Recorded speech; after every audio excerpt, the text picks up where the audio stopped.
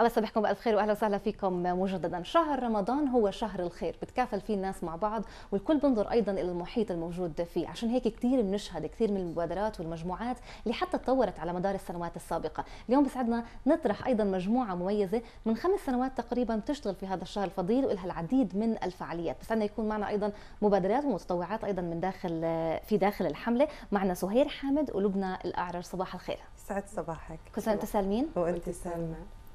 كيف أصبحتوا؟ تمام. عطل اليوم من شغلكم. إحنا قلنا نستفيد منكم الصف يعني. آه يمكن بالبداية للمشاهدين اللي ما سمعوا قبل عن خير وبركة ممكن تحكوا لنا يعني على مدار السنوات السابقة كيف بدأت فكرة خير وبركة؟ آه خير وبركة هي أول شيء مجموعة متطوعين. يعني لا مؤسسة ولا جمعية ولا تابعين لأي شيء أصحاب. حبينا نستثمر وقتنا في شيء يفيد المجتمع ويفيد الناس من حوالينا. بلشنا آه، بشكل كتير بسيط إنه سمعنا عن ست مريضة بحاجة عملية. آه، فجمعنا من بعض مبلغ من الناس اللي بنعرفهم وأعطيناهم يعني كفى حق العملية. وانبسطنا.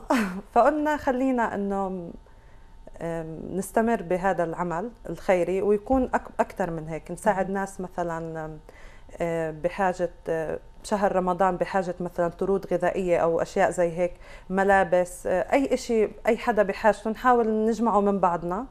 بعدين طلعنا بموضوع الصفحة وكبر يعني. صفحة الفيسبوك. آه عمليا يعني بتنشط أكثر المجموعة بشهر رمضان أو في فعاليات على مدار العام؟ هلأ أول إشي نحن كنا بس بشهر رمضان. بعدين حسينا إنه لازم يمكن يصير في متابعة للناس وإنه نتواصل معهم أكثر فصرنا بنشتغل حتى يعني بالأيام, بالأيام العادية. لبنى كيف وإمتى انضميتي للمجموعة؟ هلا أنا طبعا آه، صديقتي سهير وحتى من باقي الأفراد الموجودين بالمجموعة أصدقاء. فأكيد بنحكي مع بعض بشكل آه، يومي تقريبا. إيش عملتي اليوم؟ شو سويتي؟ وأكيد كنا كثير نتطرق للموضوع اللي حكت عنه سهير. فإنه كان إذا إذا في أي شيء ممكن نعمله تقول لي إنه إيش رأيك تشاركي وهيك. فأكيد أنا بحب إنه أكون من المتطوعين دائما مع خير وبركة. هاي كمان فكرة إيجابية يعني كمان مهمة للناس إنه عادة كيف الأصدقاء ممكن يستثمروا بوجودهم مع بعض إنه عن جد ممكن يكون في خير وبركة أصلا في الأصحاب مش بس في الأشياء اللي ممكن يعملوها. طبعا. طيب يعني صار ممكن تطلعينا أكثر يعني كم العائلات وين العائلات موجودة اللي بتتواصلوا معها؟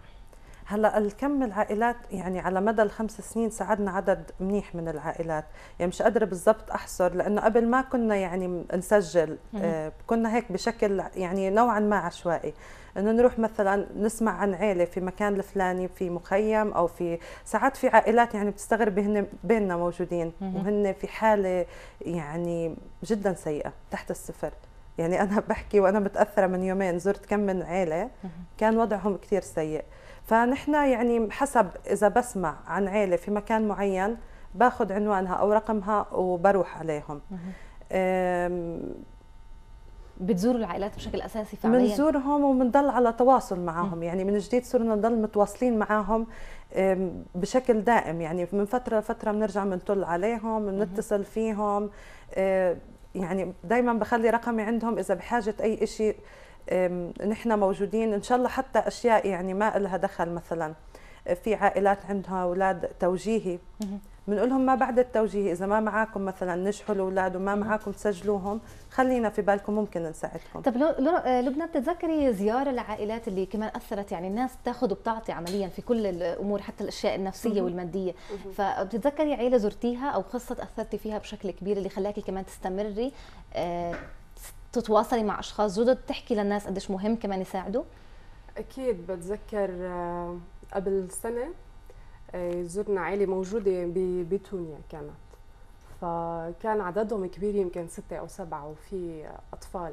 يعني إحنا كنا حاكيين معهم قبل ما نروح كان في زيارة قبل بس أنا رحت بالزيارة اللي أخذنا لهم فيهم شوية آه، أشياء للبيت. فكان عندهم عدد صغار واطفال هم يعني من سن خمس سنين لسن 16 عندهم يمكن أربعة أو خمسة. فهدول الأطفال كانوا كثير مبسوطين إنه مجرد إحنا موجودين معهم يعني. غير إنه الكبار اللي هم مدركين إنه إحنا عم نساعد فيهم برضه كانوا كثير شاكرين لهذا المجهود. هاي النقطة قديش مهمة وقديش كمان بتحسيها من خلال المجموعة إنه مرات مش بس الحاجة بتكون مادية مرات كمان في حاجة معنوية اللي هي موجودة طول الوقت في مجتمعنا يمكن بالآونة الأخيرة بنشعر إنها أقل ولكن قديش بتشعروا إنه ردة فعل الناس بتكون إيجابية؟ مجرد الزيارة والضحكة ومشاركه القصص مع بعض.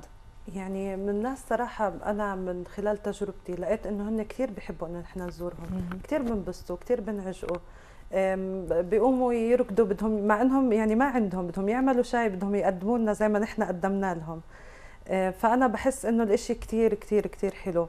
بالإضافة لإنه لما تزوري وياخذوا عليك في ناس يعني مثلا آه، بينحرجوا أو بضايقهم هذا الموضوع. بس لما تكوني هالقد لطيفة وتكوني زايرتيهم إنه انت مش بس جاي تعملي خير إنه انت بتحبيهم وجاي تقعدي معهم وتزوريهم الإشي كتير حلو بيساعدك إنك تعرفي أكثر إيش هن بحاجة يعني بحاجة لإله آه، ومن ضمن الأشياء اللي بحاجة لإلهم مثلا هدول الناس طفلة نفسها تروح على الملاهي. ما بتعرف عمرها ما راحت على الملاهي.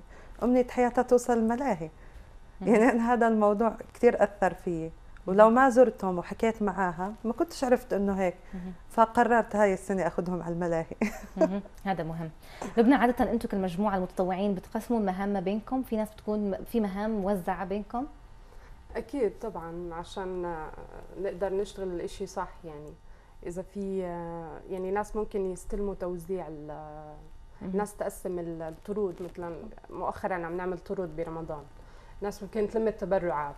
ناس بتشتريها ناس بتوزعها باكياس بطريقة ناس بتكفي عائله مثلا.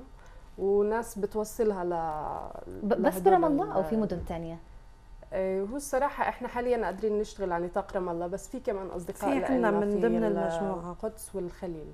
في من ضمن المجموعة آه، اللي هن ساكنين في رام الله بس مثلا من طول كرم من قلقيليم هن مستلمين كل واحد منطقته. يعني في عندنا هلأ حاليا منسق في كل مناطق الضفة يعني في مثلا في منطقة الشمال في عندنا عبد الرحمن في سامح في القدس وأبو ديس وأريحة برام الله أنا ولبنى وخالد السعدي. في يعني بكل مكان في لنا ناس. طب الشق الثاني من من المساعدة مين اللي عم بيساعد الناس؟ قديش عم تتفاعل كمان؟ انه تجيب الطرود وتساعد إنها تعطي وتتواصل معكم انها تقدم وكمان يمكن في اليوم المشاهدين حابين يعرفوا عن هذا الموضوع. يعني اللي كثير كثير استغربت منه أول ما طرحنا الفكرة كنت خايفة إنه أحرج الناس أقول له شو رأيك تساعد؟ بس أنا بتفاجئ بالناس هن اللي عم بيرنوا بيساعدوا. يعني أنا ما بيمرق يوم واحد إلا يكون متصلين فيه أربعة أو خمسة بدهم يتبرعوا بطرد غذائي أو مثلا بأشياء ثانية من عندهم من خزانتهم. فالناس يعني آه، كثير بحبوا يعملوا خير بشكل يعني كبير جدا بس هن مش عارفين كيف. يعني هي مسألة إنه كيف يوصلوا هدول الناس وكيف يوصلوا لهم تبرعاتهم ما بيعرفوا كيف. فهن مثلا أسهل عليهم إنهم يتواصلوا معنا من خلال صفحتنا على الفيسبوك أو من خلال المعارف والاتصالات يعني. آه، بتصلوا فينا ومن يعني من خلالنا نحن بنوزع بس هن كثير يعني في إقبال شديد يعني بالإضافة لأنه تطوع. يعني أنا كمان استغربت من الكم الهائل من الناس اللي بدهم يتطوعوا معنا أو بدهم آه، يروحوا يزوروا الناس. إذا كنا مثلا حاطين روبورتاج أو شغلة عن عائلة. معينة يعني أنا عملت share قبل كم من يوم ريبورتاج عن عائله يعني صار في هلأ ستة بدهم بس يروحوا يزوروها بشكل شخصي ويجيبوا لها. فلأ كثير الناس يعني طب خلينا كمان نذكر الناس انه بإمكانهم يتواصلوا كمان مع خير وبركة سواء أشخاص بدهم يعلنوا عن أشخاص يمكن آه، بيعرفوا إنهم بيحتاجوا لهذا النوع من الدعم أو أشخاص بدهم يدعموا. صفحتهم على الفيسبوك باللغة العربية خير, وبركة.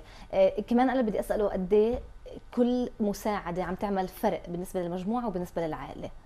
إنه مرات الناس بتفكر إنه يعني إذا بدي أبعت أنا طرد يعني يعني الناس بتحب بس بتقول معقول يأثر معقول يفرق؟ فانت شو بيكون ردك؟ كثير بفرق. لما تفوتي عند ناس ثلاجتهم فاضية نهائيا كثير بفرق. بفرق لو حتى قنين تعصير فيها يعني أكيد رح تفرق. كثير بتفرق. لما أطفال يناموا يومين وثلاثه من غير أكل كثير كثير بتفرق. ونحن يعني آه، بالنسبة للناس اللي بتبرعوا لازم يعرفوا إن إحنا بنضلنا على تواصل مع هاي العيلة. يعني لما يخلص طردهم بنحاول نأمن لهم غيره. يعني إحنا بنكون مثلا حاطين إنه الطرد رح يكفيهم أسبوع بنحاول بعد أسبوع نرجع نتواصل معهم ونأمن لهم كمان طرد. في فعاليات ثانية شفت من خلال الصفحة في إفطارات آه، جماعية عم بتكون تحكي لنا أكثر عن هذا الجانب؟ مزبوط. في عنا آه، عملنا على مدى الفترة اللي نحن بنشتغل فيها عملنا أكثر من إفطار جماعي. أول إشي لناس يعني عائلات مستورة. كان في صاحب مطعم أبراج الزهراء. هذا الزلمه سمع في خير وبركة. في خير وبركة وطلب منا إنه هو كمان يكون زي يعني يعمل متطوع. خير. هو مش يعني طلب منا نجيب ناس عشان يعني مشترك. يعملهم إفطار جماعي. وطبعا كثير مشكور لأنه بتعامل مع هدول الناس كأنهم ضيوفه. يعني الأشياء اللي بقدمها يعني أحسن ما يكون. يعني كثير كثير رائع هذا الزلمه ولما شاف فرحة الناس ب بالفطور رجع يعني أكد علينا إنه تعالوا مرة ومرتين وثلاثة. فكنا يعني هلأ على مدى رمضانين آه، عملنا أكثر من فطور عند ال... وأكثر من مرة كمان نعمل يوم ترفيهي للأطفال. كمان عملنا مرة جمع أدوية أيام غزة. فكتير كان عندنا نشاطات مختلفة. لبنى من خلال تجربتك انت قديش بتشوفي انه المشاركة في مثل هاي الأمور؟ يعني إحنا ما ما بنفترض إنه في شخص عنده أكثر من شخص آخر ولكن في ظروف اجتماعية بتكون مختلفة. ولكن انت على مستواك الشخصي إيش بتحسي إنه هذا العمل أضاف إليك أو غير حتى؟ في كيف بتفكري في الأشياء اللي حواليكي؟ يعني أنا كثير بكون سعيدة لما بعمل أي إشي بسيط لأنه بحس إنه عم بعمل إشي له بعد إنساني. إنه وإنه كمان هاي الناس اللي هي أبسط منا أو بحاجة لمساعدة ممكن تكون تكون كثير بسيطة مش قد ما إحنا متخيلين إنها صعبة. كثير رح يكون مبسوط لما يلاقي حدا يوقف جنبه أو يتذكره يعني. صحيح. وعلى مدار السنة أكيد مش بس برمضان. سير آخر شيء بتحبي تحكي للمشاهدين آه، لأشخاص ممكن يكونوا بدهم يقدموا الدعم وأشخاص يمكن بيحتاجوا هذا الدعم إيش بتقولي لهم؟